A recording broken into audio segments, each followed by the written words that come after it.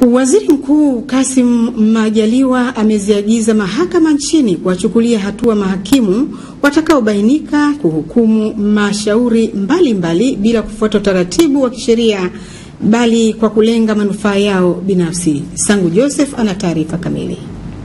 Akizungumza kwenye uzinduzi wa mpango mkakati wa mahakama kwa miaka mitano na uzinduzi wa mradi wa maboresho wa mahakama nchi kwa kushirikiana na Benki ya Dunia uliofanyika wilayani Kibaha mkoani Pwani, Waziri Mkuu Majaliwa amesema licha ya mradi huo kuwa na dhima ya kumaliza asilimia tisini ya kesi kwenye mahakama ya mwanzo, bado baadhi ya mahakimu wasio waaminifu wataitumia fursa hiyo kujinufaisha.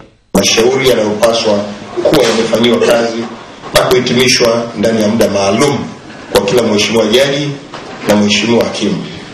Hili ni jambo muhimu na ni zuri sana kulizingatia, lakini pia naomba lisimamiwe vizuri ili kuhakikisha kuwa katika kuharakisha mashauri haki inatendeka na kuwadhibiti baadhi ya mahakimu ambao wanakimbia wanakimbilia kufuta kesi kwa haraka haraka bila sababu za msingi ili kufikia malengo yaliyowekwa. project, this should be a first phase.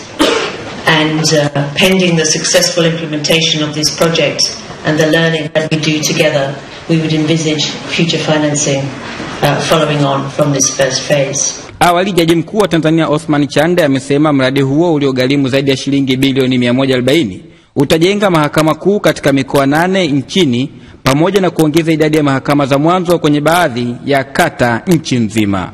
fanya mahakama iendelee kutoa huduma zinazolenga upatikanaji wa haki kwa wote na kwa wakati. Mpango huu mkakati wa miaka mitano una malengo makuu matatu ambayo kwanza ni utawala wa management bora ya na utoaji haki kwa wakati. Nimefurahishika sana na hii mahakama tofauti na mahakama ambazo nimezielewa zile za wilaya kwetu, na hapa kuna kila kitu. Nimefurahi sana kuwepo kwa mahakama hii karibu, kwa sababu ni kubwa, pia itakuwa inasikiliza kesi kwa haraka haraka, kwa hiyo itakuwa inatusaidia wakazi wa hapa, tofauti na mwanzo ilikuwa ni ndogo. Nikiripoti kutoka jijini Dar es Salaam, mimi ni Sangu Joseph.